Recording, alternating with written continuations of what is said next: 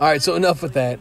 End of the video here. Working with the 2021, quote unquote, uh, DeMarini Nihilist. Uh, DeMarini is always uh, a year ahead of themselves when it comes to releasing model years. Uh, for whatever reason, they decided to call these 2021s. Uh, it does cause a little bit of confusion, but I always call them 2020s because that is uh, the year, the market they're competing with. So I call it that uh, just for my own sake. But nonetheless, big thanks to Headbanger Sports for sending this to us so we could check it out for you guys. This one is a 27 ounce, approved for ASA USA play only, and has about 75 swings on it with nothing but 52 300s. And that's all we're hitting for the video here is Evil BP 52 pluses and Evil 52 300 game balls. This bat is a 27 ounce and features an inload. There's nothing listed as far as uh, how much inload, but in their description on the website, it does say that there was people begging for the Nihilist Tech with a bigger inload, and I'm gonna tell you right now, they definitely gave it to you. Right. This thing is no doubt a full ounce of inload, maybe even a little bit more. Uh, these things mean business. Uh, if you're not a big inload fan, this one's not going to be for you. I'm just going to be upfront and tell you that right now. The 12 inch barrel on this bat uh, did have a decent sized sweet spot to it. Overall, it had a softer feel to it. The thing that set this apart from last year's Nihilist, in my opinion, was the fact that you could feel last year's bat, uh, the ball just absolutely explode off of it uh, when you hit it on the screws. And even if you didn't, you still got a good a good feel of uh, the ball coming off of the bat, which is something that uh, people do complain about with the 52 300 ball. Is the fact that they don't give a ton of feedback, so you don't know how you hit the ball. Last year's Tech did a really good job of doing that with sound and with feel. Uh, this year's had just a little bit of a different sound to it, but there was really not a ton of feedback at all. It does feature an alloy handle, and like most DeMarini alloy handles, it was pretty rigid and maintain a consistent feedback as far as not giving any whip or anything like that. Let's jump over to the lab real quick, check a few things out. Just going to be Yeah, kind of quick and to the point with the lab right stuff. face. Trying to make editing as minimal as I can, and then back to the action. Okay.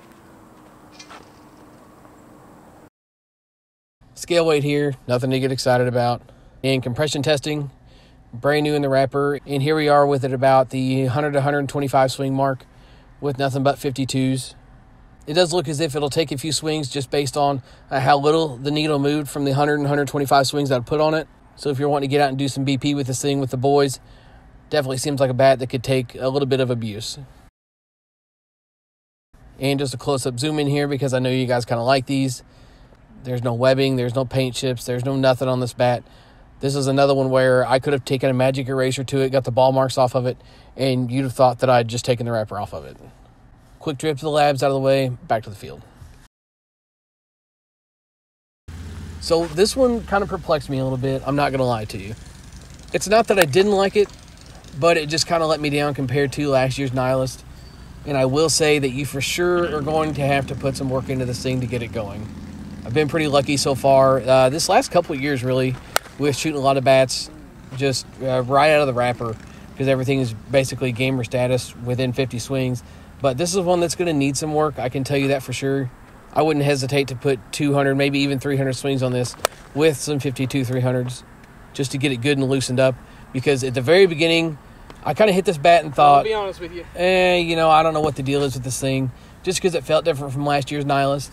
And I didn't know if it was something that was going to open up and get better or if it was just going to maintain this uh, same feel. Like the performance was lacking from when it was new to when it was now. It seems to be breaking in, and performance is getting progressively better as it goes.